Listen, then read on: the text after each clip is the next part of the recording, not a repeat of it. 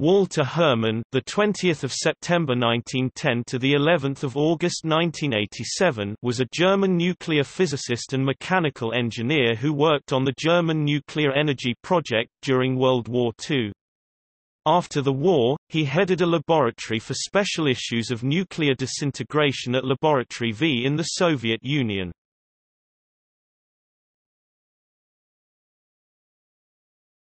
Topic: Biography Herrmann was born in Querfurt and completed his engineering degree at the Dresden University of Technology in 1937.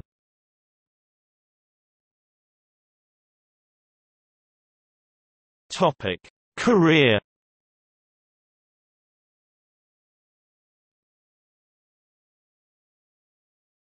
Topic: Pre-war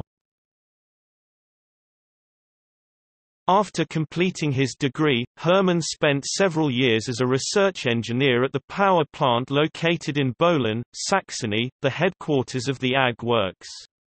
In January 1939, he was transferred to Dresden.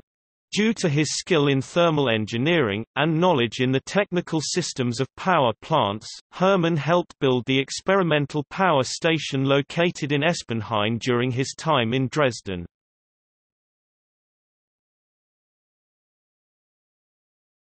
Topic: Uranprojekt.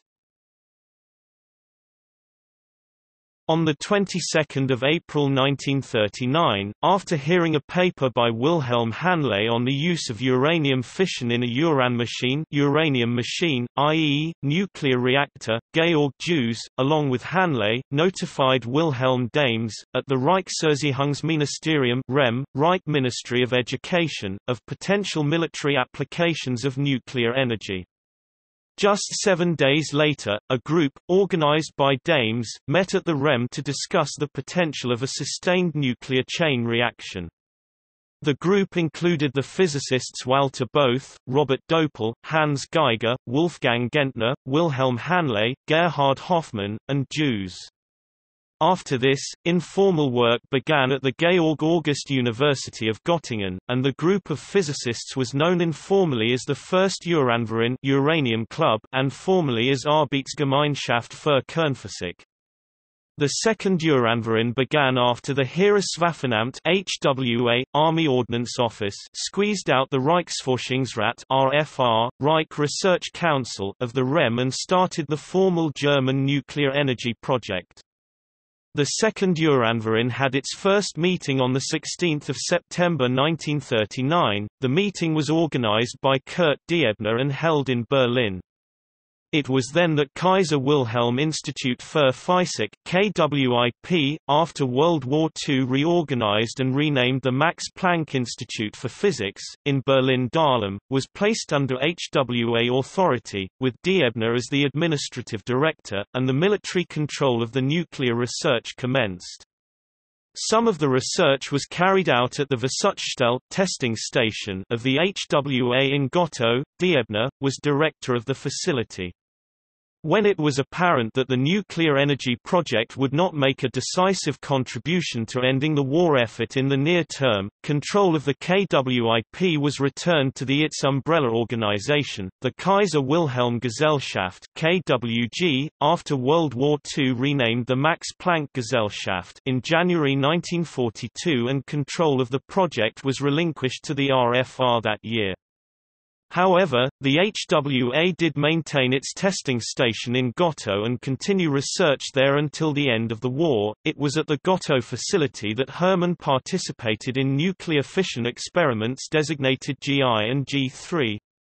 The G1 experiment had lattices of 6,800 uranium oxide cubes about 25 tons in the nuclear moderator paraffin. The work verified Karl-Heinz Hocker's calculations that cubes were better than rods, and rods were better than plates. The G3 experiment was a small-scale design, but it generated an exceptionally high rate of neutron production.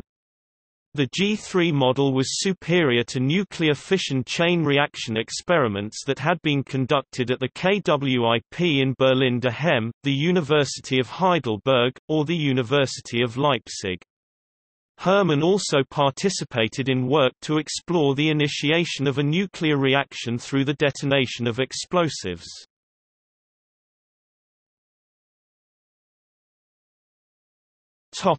In Russia Near the close of World War II, the Soviet Union sent special search teams into Germany to locate and deport German nuclear scientists or any others who could be of use to the Soviet atomic bomb project. The Russian ALSOS teams were headed by NKVD Colonel General A. P. Zavenyagin and staffed with numerous scientists, from their only nuclear laboratory, attired in NKVD officers' uniforms. In the autumn of 1945, Heinz Pose was offered the opportunity to work in the Soviet Union, which he accepted. He arrived in the Soviet Union, with his family, in February 1946. He was to establish and head Laboratory V also known by the codename MALOJAROSLAVETS-10, after the nearby town by the same name in Obninsk. The scientific staff at Laboratory V was to be both Soviet and German, the former being mostly political prisoners from the Gulag or exiles. This type of facility is known as a Sharashka. Laboratory B in Sungul was also a Sharashka and working on the Soviet atomic bomb project. Notable Germans at Laboratory B were Hans Joachim Born, Alexander Catsch, Nikolaus Riehl, and Karl Zimmer.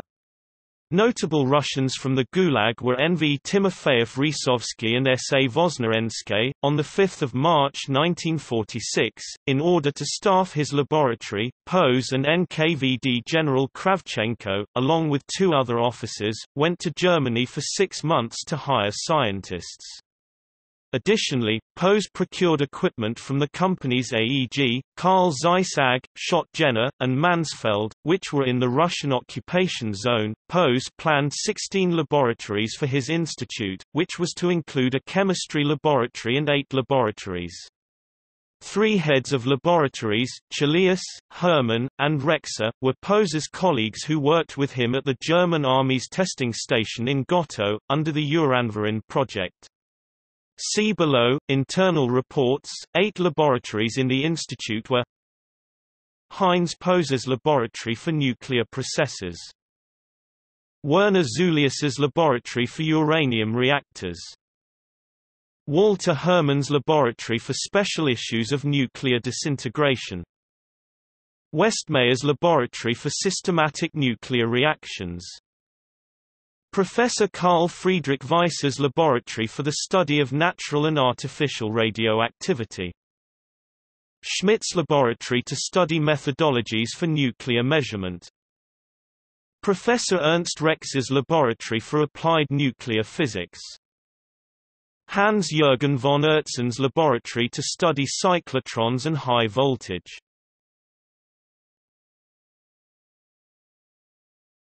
Topic 1950s When his time with the Soviet nuclear program was done, Herrmann returned to the DDR to focus on restoring the country's energy supply. In December 1945 he was ordered by the Soviet military administration in Germany to carry out the reconstruction of the nation's boiler plants. In May 1953 he started a project to modernize the central steam generator in Berlin. As recognition for his service, and skill at restoring energy in the DDR Herrmann was sent to Hungary to manage the commissioning, designing, and construction of power plants. In July 1956, because of his merits and his many years of professional experience in power plant engineering, Herrmann is appointed a professor at the University of Magdeburg's School of Mechanical Engineering as the head and founder of the Institute of Thermal Engineering.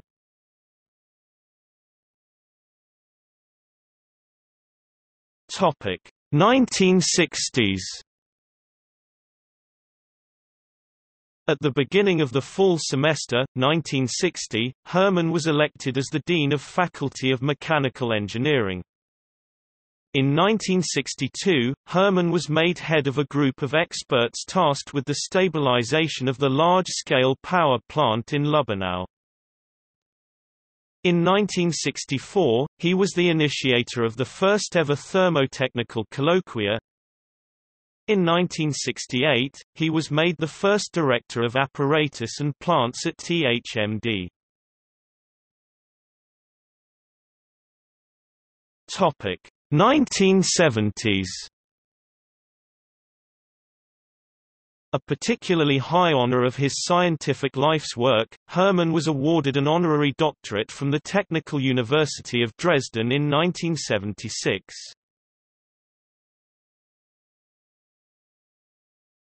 Topic: Internal reports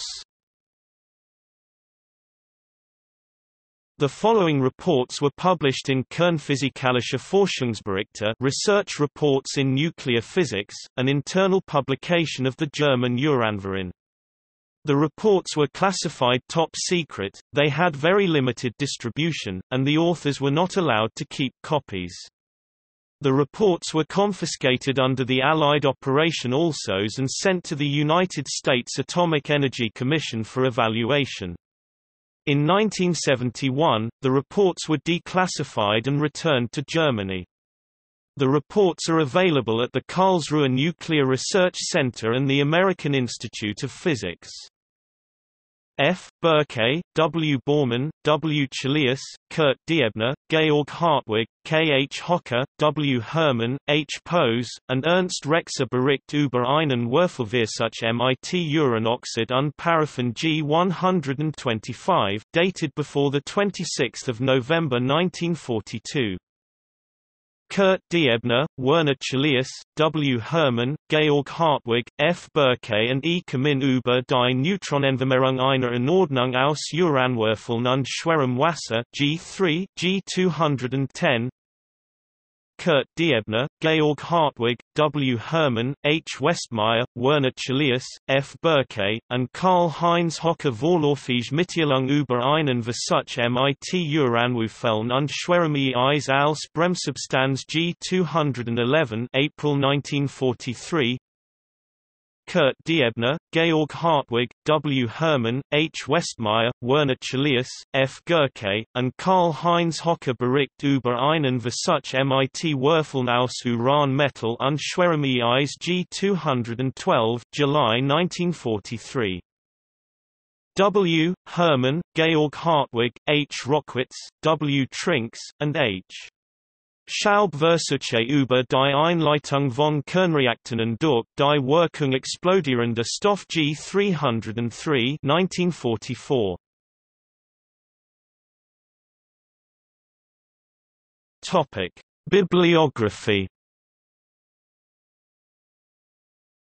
Hentschel, Klaus editor and Anne M. Hentschel editorial assistant and translator Physics and National Socialism, An Anthology of Primary Sources Birkhauser, 1996. ISBN 0-8176-5312-0 Kant, Horst Werner Heisenberg and the German Uranium Project, Otto Hahn and the Declarations of Mainau and Göttingen, preprint 203 Max Planck Institut für Wissenschaftsgeschichte, 2002 Macrakis, Kristie Surviving the Swastika, Scientific Research in Nazi Germany Oxford, 1993 Oleynikov, Pavel v. German Scientists in the Soviet Atomic Project, The Nonproliferation Review Volume 7, No. 2, 1–30 2000. The author has been a group leader at the Institute of Technical Physics of the Russian Federal Nuclear Center in Snezhinsk Chelyabinsk 70. Walker, Mark German National Socialism and the Quest for Nuclear Power 1939–1949 Cambridge, 1993. ISBN 0-521-43804-7 Topic. Notes